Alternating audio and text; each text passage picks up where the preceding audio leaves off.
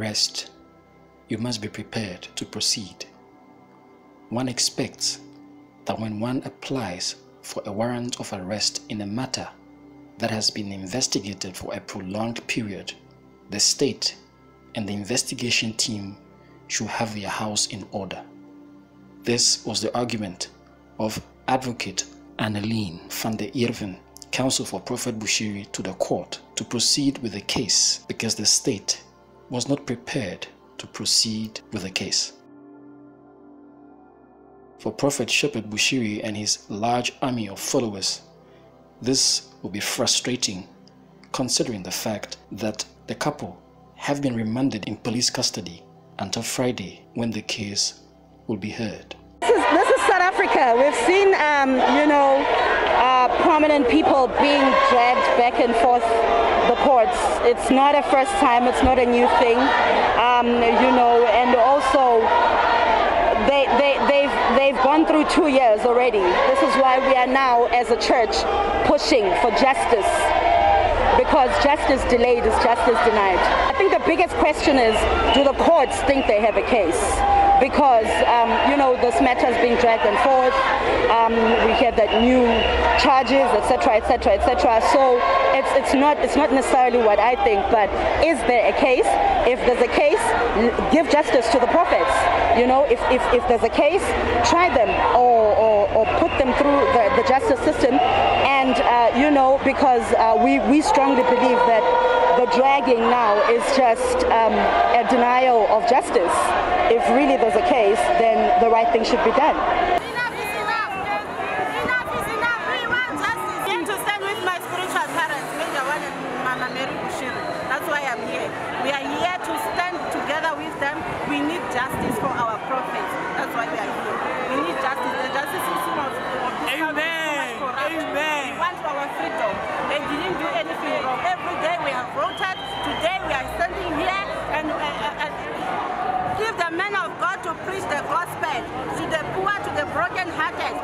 Justice must be done. We need justice. That's why we are here.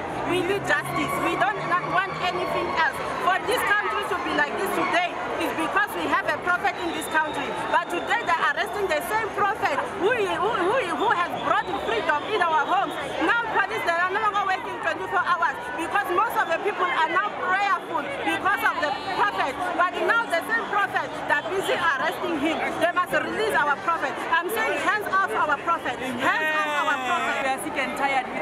government that they are embarrassing them each and every day.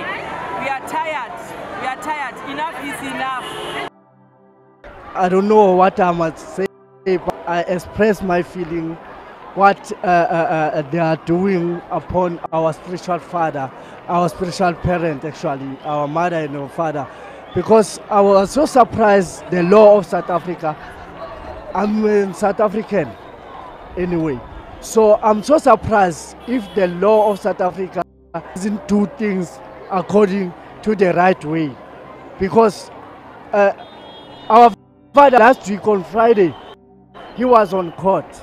So all of a sudden they arrest him for the same thing that they're supposed to add those on the same uh, same charge that they put on him. But now they arrest them, they, they, they just uh, take down their dignity, they embarrass them as, to be honest with you, if you, it's not about color. I've been with the prophet since 2014. I started the church with him. And I can tell you, do you think, honestly, if he's stealing money from the church and from people, he would have so many followers? Yeah. All I can say about this man of God, he's a true man of God. I've seen him work.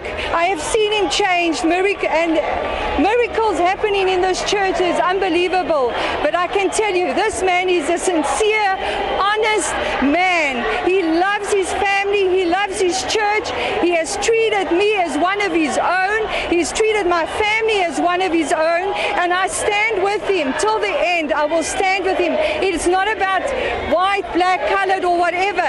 It's about the truth. And this man of God is an honest, sincere of God whom we will stand by till the end because he is innocent. And if you check all his followers around the world, would they stand by him if he was stealing their money? In all honesty, and I say it again for the last time, this man of God and his wife are dedicated children of God to help us as his family, as his church.